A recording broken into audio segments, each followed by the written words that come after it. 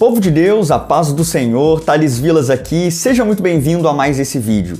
E esse vídeo aqui está muito interessante porque aqui nesse vídeo você vai aprender a como ser um pregador da palavra de Deus em 2023. Esse é o seu sonho? Esse é o seu desejo? O seu coração queima, arde por pregar a palavra de Deus? Então fica comigo aqui até o final desse vídeo porque aqui nesse vídeo eu vou passar para você cinco orientações para você colocá-las em prática agora mesmo e garantir que você será um pregador usado por Deus em 2023. Gostou do tema desse vídeo? Então deixa o seu gostei aqui para mim e também se inscreva aqui no canal caso você não seja um inscrito. Vai aqui embaixo no botão inscrever-se, clica ali, é gratuito. Vai do ladinho e clica no símbolo de um sino e clica em todas. Pronto, agora você garantiu que todas as videoaulas que eu postar por aqui aparecerão para você gratuitamente, recomendadas pelo próprio YouTube. Certo? Então, sem mais demoras, vamos para a tela do meu computador, onde eu quero passar para você cinco conselhos bem práticos para você ser usado por Deus nesse ano que está por vir. Vamos lá. Pronto, já estamos aqui na tela do meu computador, onde a partir de agora eu quero passar para você cinco orientações bem práticas. Então, ó, caderno, caneta aí para você anotar tudo que eu vou passar para você aqui e para você ser tremendamente usado por Deus em 2023. Vamos lá então, vamos começar. Primeira orientação que eu quero passar para você é: tenha convicção da sua chamada. Isso aqui é importantíssimo. Você precisa ter a certeza dentro do coração de que você foi chamado para este ministério. E olha algumas considerações que eu coloquei aqui para você, ó. O ministério da pregação é o quê? É uma chamada. Não é uma escolha, não é você que decide, é uma chamada que vem do próprio Deus. É Deus quem coloca em nós o desejo, quem coloca em nós esse fogo que arde dentro de nós por pregar a palavra.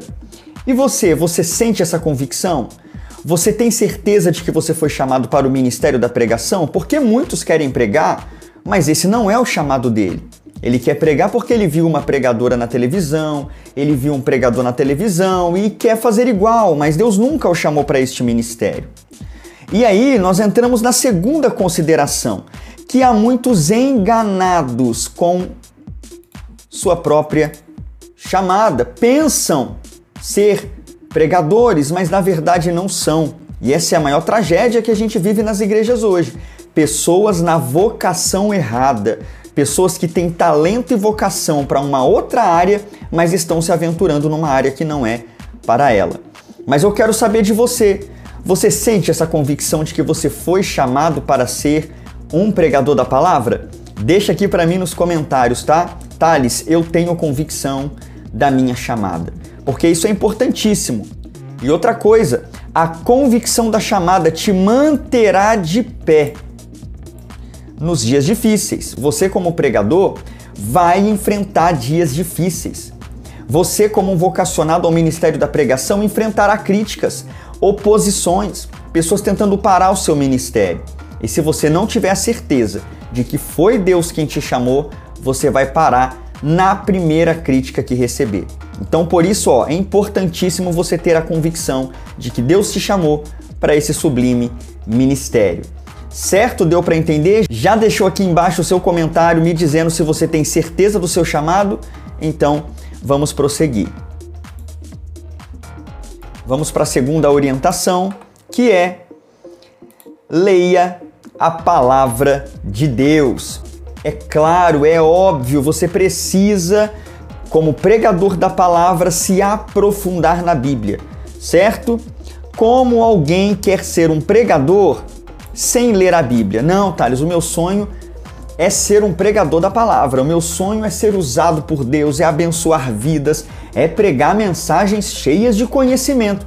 Tá, mas quantas vezes você pegou na Bíblia durante a semana? Quantas vezes você leu a Bíblia? Esse ano você leu a Bíblia inteira? Então, como que você quer ser um pregador da palavra de Deus, sendo que a palavra de Deus não é a sua prioridade como pregador? Para você pregar mensagens repletas de conhecimento bíblico, para você pregar mensagens cheias de conteúdo que vão edificar vidas, você precisa se aprofundar na Bíblia. Você concorda comigo? Olha só uma outra coisa. A palavra de Deus é a sua ferramenta de trabalho. E tem muita gente que esquece isso, acha que a ferramenta de trabalho dele é uma obra judaica ou a ferramenta de trabalho dele são livros de filosofia. A nossa ferramenta de trabalho é a Bíblia e nós temos que nos especializar, nos aprofundar nela. Assim como um médico, ele é especializado no manuseio dos instrumentos médicos. Um dentista é especializado no manuseio dos instrumentos odontológicos. Você também precisa ser especialista na ferramenta que você vai usar na sua pregação. Você confiaria em um pedreiro que não sabe usar as ferramentas para se fazer uma obra? Você confiaria num médico que nunca pegou um bisturi? Você confiaria no dentista que não sabe diferenciar os instrumentos odontológicos? É claro que não. E como você quer que as pessoas confiem em você como um pregador chamado por Deus, bênção de Deus, se você não tem aprofundamento bíblico na sua vida? Então você precisa decidir a partir de agora. Eu vou me aprofundar na palavra de Deus. Eu serei um pregador bíblico. Vamos tomar essa decisão a partir de agora. Se você não tem sido alguém que lê a, lê a Bíblia, estuda a Bíblia, se aprofunda na Bíblia, coloca nos comentários aqui: eu serei um pregador bíblico. Certo? Tome essa decisão para 2023 e você será um pregador tremendamente usado pelo Senhor.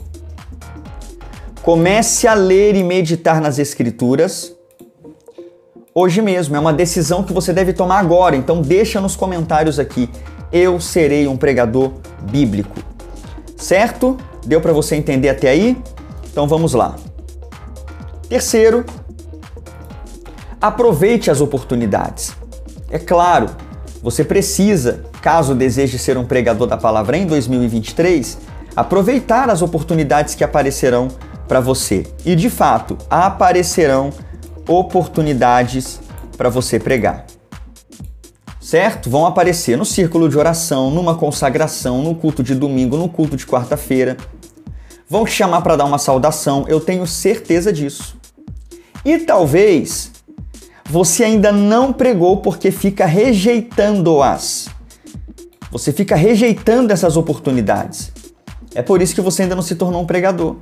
Porque você tem medo de não conseguir pregar, porque, ainda, porque você ainda não se sente seguro na pregação, porque você não sabe montar um esboço, porque você não sente convicção do conhecimento bíblico que você tem. Acertei? Não é, não é esse os seus medos de pregar a palavra de Deus? Se é, fica tranquilo porque no final eu tenho um convite muito especial para fazer para você, para você vencer todas essas dificuldades, tá? Mas claro, a decisão final está nas suas mãos. Esteja presente nos trabalhos da igreja. Ah, Thales, meu pastor não me chama para pregar, ninguém nunca me convidou para pregar. Mas é claro, você só aparece na sua igreja de três em três meses. Você só vai na igreja no domingo. Como que as pessoas vão te chamar para pregar? Se além de você ir na igreja nos domingos, você senta lá no último banco, como que seu pastor vai te ver? Você não tem nem contato com seu pastor, não faz parte de grupo algum, não ajuda na igreja, não tem relevância na igreja. Como que as pessoas te chamaram para pregar? Então, a partir de agora, você precisa tomar a decisão de estar presente nos cultos, nas escolas dominicais, nas consagrações. Faz isso e você vai ver se não vai surgir o convite para você pregar. Quem não é visto, não é lembrado. Lembra sempre disso, tá? Longe dos olhos, longe do coração. Então pode ser que outras pessoas que, tal, que talvez chegaram na igreja depois de você já estão se desenvolvendo mais do que você, porque elas estão ali presentes na igreja.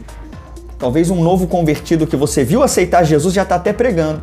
Mas vai ver o que esse novo convertido faz. Ele lê a Bíblia, ele está presente nos cultos, ele procura o pastor, ele se coloca à disposição. Enquanto você nem aparece na igreja e quer ser convidado para pregar. Então esteja presente nos trabalhos da sua igreja se você quer ser convidado para pregar e ser um pregador em 2023.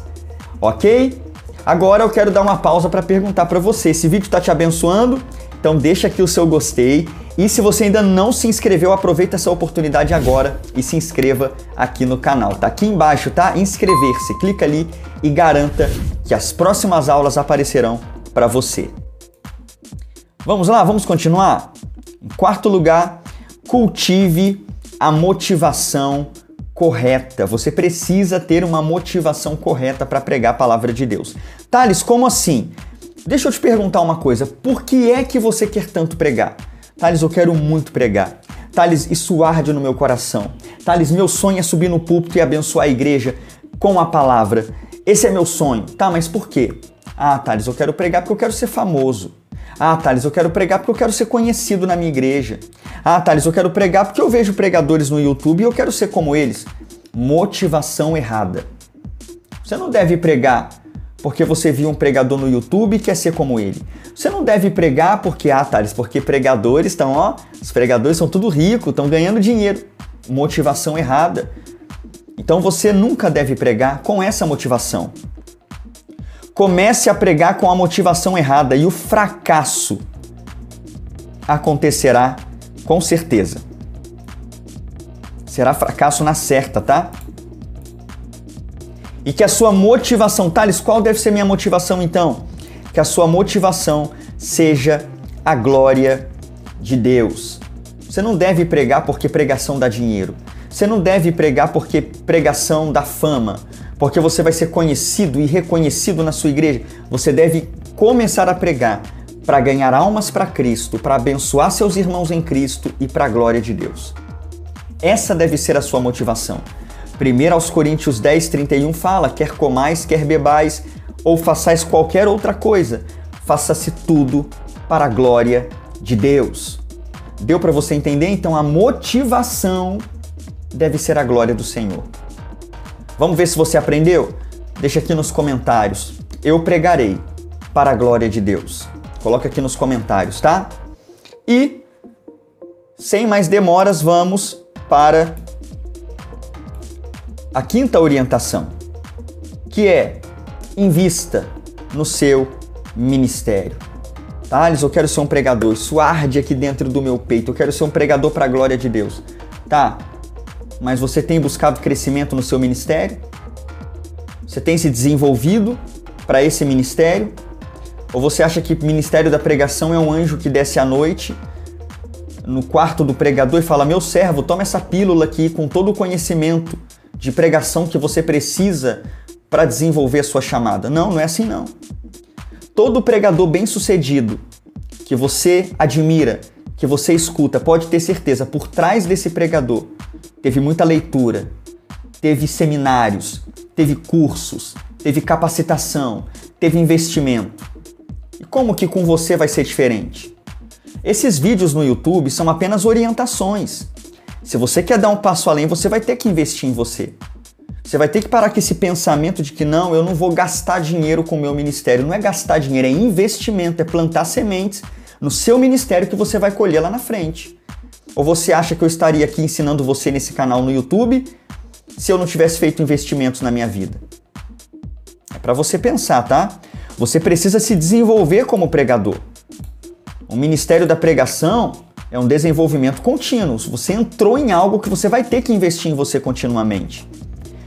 Quanto do seu orçamento? Olha só, responda essa pergunta para você mesmo aí, não precisa colocar nos comentários não. Quanto do seu orçamento é destinado a se aperfeiçoar. Eu recebo X, pago as contas aqui e isso daqui é para o meu aperfeiçoamento ministerial. Ah, Thales, eu não invisto em mim não. Eu gasto dinheiro com pizza, com Coca-Cola, com roupa, viajando, o que não é errado, tá? Mas como que você quer ser um pregador desse jeito se você nem investiu em você nesse ano? Se você não comprou um livro, se você não, não se inscreveu em um curso de aperfeiçoamento, seja presencial, seja online, como que você quer ser um pregador desse jeito? Não vai ser um pregador desse jeito, não adianta, não vai ser. O seu ministério será do tamanho do seu investimento. Quem é mais antigo, quem é mais antigo aqui no canal, sabe que eu sempre repito isso. O seu ministério vai ser do tamanho do seu investimento. Hoje o meu ministério é do tamanho do investimento que eu fiz nele e qualquer outro pregador que você admire, que você assista, que você ouça, o ministério dele é do tamanho do investimento dele. Como que você quer ganhar conhecimento bíblico? Como que você quer se desenvolver nas técnicas da pregação, na oratória, se você não investe em você? mas eu sei que eu estou falando para pessoas que querem romper com essa inércia no investimento e querem se aperfeiçoar e querem se preparar para esse momento em 2023 que vai ser o início do seu ministério. Sabe como? Eu tenho um convite para te fazer. Lembra que eu falei? Se você tem dificuldade em empregar, que eu tinha um convite para te fazer? Você quer aprender a ser um pregador usado por Deus? Quer ser usado por Deus? E quer ser um pregador reconhecido pela igreja como um homem de Deus e como alguém que cumpre a sua chamada? Quer? Então se inscreva no meu treinamento Seja um Pregador Treinando Vocacionados. Dentro desse treinamento com mais de 600 alunos, eu vou te pegar pela mão e vou te ensinar passo a passo a ser um pregador da palavra de Deus, começando do absoluto zero até o avançado. Quer aprender a pregar pregações temáticas, textuais, expositivas, a extrair pregações de um texto bíblico, a interpretar a Bíblia corretamente para pregar? quer aprender a falar em público, a vencer seus medos, então você precisa ó, clicar aqui no primeiro link da descrição ou no link que vai estar no comentário desse vídeo aqui, no comentário fixado. Vá lá e se inscreva, dê esse presente a você e semeie no seu ministério. Para que você seja um pregador tremendamente usado por Deus e reconhecido como um obreiro de valor em 2023. Então é isso, povo de Deus. Esse aqui foi o nosso vídeo de hoje e essa foi a nossa aula de como ser um pregador da palavra de Deus em 2023. Gostou desse vídeo? Deixa aqui o seu gostei, se inscreva nesse canal e claro, deixa o seu comentário aqui dizendo assim para mim, ó, eu serei um pregador em 2023. Não esqueça, tá? Vá aqui embaixo e garanta sua vaga no meu treinamento Seja um Pregador Treinando Vocacionados e semeie essa grande semente e essa próspera semente no seu ministério de pregação. E para você que chegou até aqui, vou deixar esse excelente vídeo, meu mini curso de como ser um pregador da palavra de Deus para te aperfeiçoar ainda mais. Corre para cá, mas claro, depois de se inscrever no meu treinamento. Deus abençoe a sua vida. Te espero no próximo vídeo, hein? Até lá. Um grande abraço. Tchau.